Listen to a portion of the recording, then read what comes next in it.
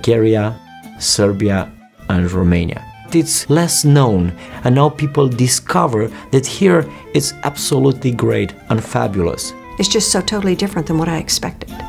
And I think people need to come and see it because it'll change their whole mindset about what's here. These have been hidden gems, and I'm so glad we came. I couldn't highly recommend it enough. It's a wonderful experience. This Gate 1 tour of the Balkans begins in Bulgaria with a stay in the lively capital city of Sofia. Next, we travel to Serbia, where we will stay in Belgrade, whose long and storied history is reflected in its diverse architecture.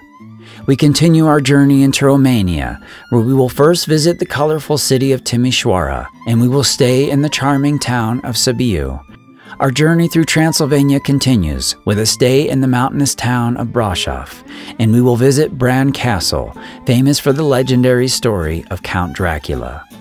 Our tour concludes in the capital city of Bucharest, named the Paris of the East for its stunning architecture, distinctive history, and vibrant culture.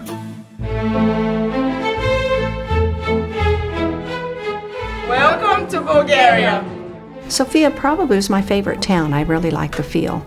Every turn was a surprise, and it just got better and better the more I learned and the more I saw. I loved where our hotel was, the fact that you could just walk out and see the cathedral right there and just walk around that main area. In Sofia, we have the option to visit Rila Monastery. The monastery at Rila was really awesome. A beautiful scenery around the monastery as well as the monastery itself. It was just amazing. The pictures do not do it justice. It's huge, it's so peaceful, so relaxing, and it really is almost a Zen experience. It was amazing. Serbia was beautiful. I had no idea the number of fortresses and cathedrals and churches, and it was so clean. The people were very proud of their country. I was happy to be there. Belgrade was amazing. The place that we stayed is just a fantastic Art Deco hotel in the center of town. Lovely old fashioned hotel. Just really great to walk around the old town with the cobblestones. It was really nice walking there. I loved walking around the old fortress. Belgrade is very beautiful. I didn't imagine it was going to be so green. This area is really beautiful, so I'm loving it. Romania on this trip has been my favorite destination. The multiple cities that we've been to in Romania have been fantastic. Sighisoara was really, really nice. They had a wonderful clock tower. We were able to climb up in the clock tower and, and see a, a view of the entire city in all directions. Timișoara was a really fun place. The square was beautiful. The hotels have been unbelievably centrally located, so you got to walk out and you were right there among the fountains, overlooking the beautiful cathedral. I mean, it's just been incredible. In Sibiu, we have a lovely walk through the city center. All the old buildings from 16th, 17th centuries, the roofs have windows which have the shape of an almond eyes. You have that feeling that you are watched. Brasov to me was just beautiful. The town was lovely, the bells were ringing, the pigeons were flying. It was a real slice of life.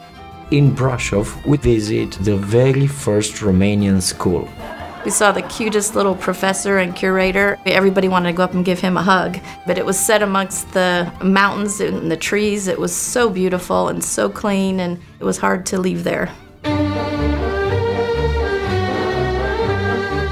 I'm a very big Dracula fan, so I was very interested in going to Transylvania and to Bran Castle. It was a lot of fun with everybody on the trip, putting in the little vampire teeth. The castles are something that, that I really enjoy. So Dracula's castle was really nice, and then the castle of Peleș was really, really nice as well. Peleș for me was spectacular. My husband and I were talking later about which one did we prefer, Peleș or Versailles, and I thought Peleș was nicer.